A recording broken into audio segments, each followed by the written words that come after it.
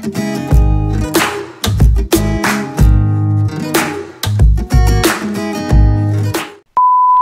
hi, Dr. Roland here from the Sky Clinic. As promised, that I'm going to discuss to you about female weight gains.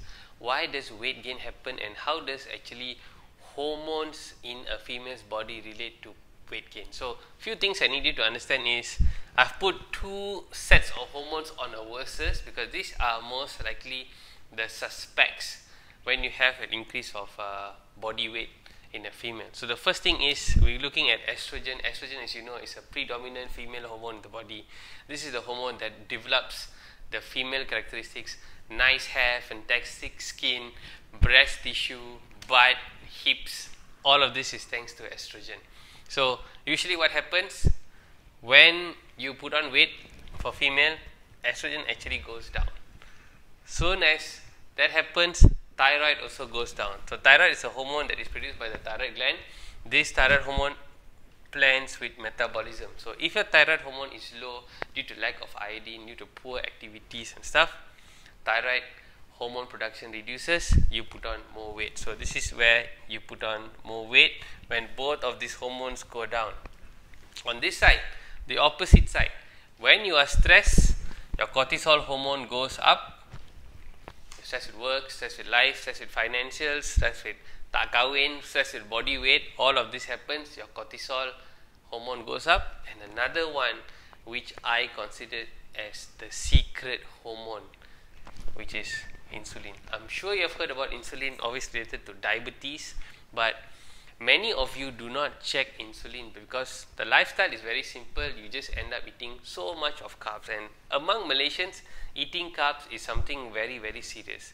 Most females when they eat outside they actually end up eating so much of carbs. They think that just eating rice eating thosai eating roti canai eating buns are oh it's light but actually it's high in carbohydrate when it's high in carbohydrate not only your sugar goes up you don't see that in the first place but slowly insulin production increases.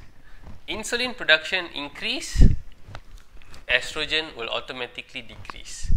Cortisol and insulin increase thyroid also will decrease. So when this segment goes up this segment goes down. It is almost a similar position when a woman hits a menopause, when menopause takes place, zero production of estrogen takes place.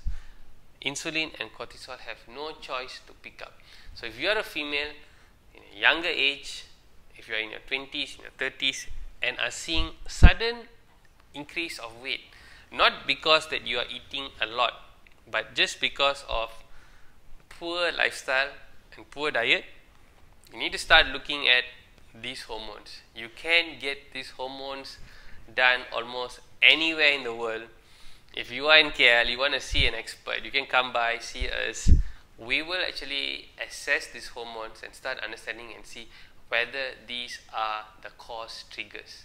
And this is me, the 101 hormones here today, just for females. If you're looking to lose weight and you are actually working out, you are actually trying to control the diet, but you're not seeing results, then this is the problem. Ciao.